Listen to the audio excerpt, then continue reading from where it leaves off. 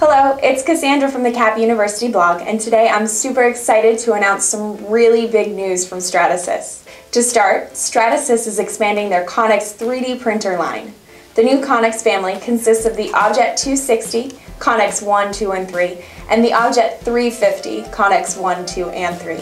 These new printers join the already amazing Objet 500 Connex 1, 2, and 3.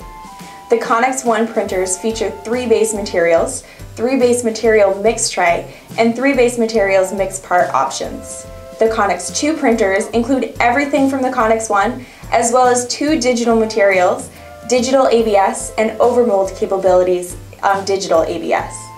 Lastly, the Connex 3 printers include everything from Connex 1 and 2, as well as three digital materials and color capabilities.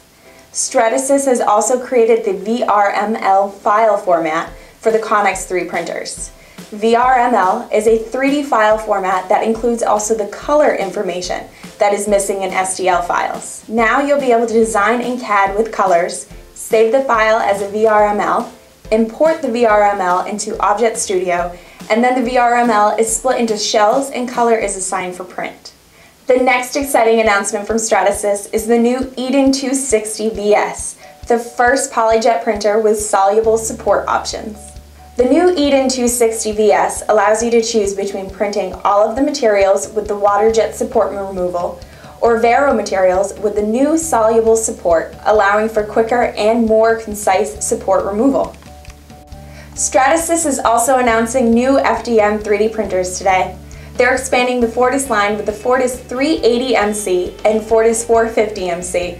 The next generation of Fortus printers offers simplified configuration, bundled material options, oven temperature and uniformity, new material canisters, faster build speed, new touchscreen, ease of use, and improved reliability.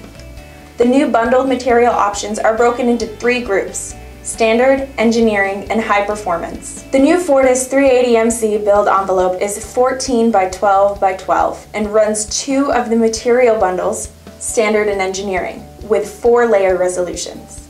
The new Fortus 450MC has a build envelope of 16 by 14 by 16 and has four canister bays, two for model material and two for support. The 450 runs all three material bundles and has four layer resolutions. The next exciting announcement is for yet another new Stratasys 3D printer, the Objet 30 Prime. This new desktop is the first of its kind with flexible materials and fastest print mode capabilities. With 12 model materials, elastomer materials, biocompatible materials, and three print modes, it's no wonder that this new desktop printer is an exciting addition to the Stratasys family. To round off all of these exciting new printers from Stratasys is their latest material, Ultem 1010.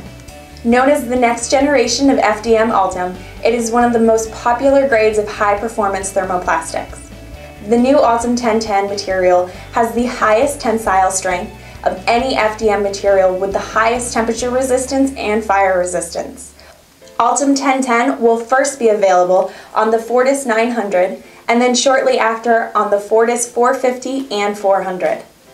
Stratasys has yet again outdone themselves with the new printers and materials. For more information on any of the new options announced today, check out CAPINC's website and contact one of our 3D printer experts.